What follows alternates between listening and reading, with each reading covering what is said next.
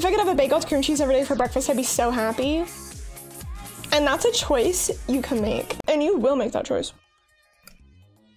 That's your right. Men went to war and died for you to have that choice. That breakfast bagel choice. Mm-hmm. It's my only right. It's your only right. Men went to war and died for me.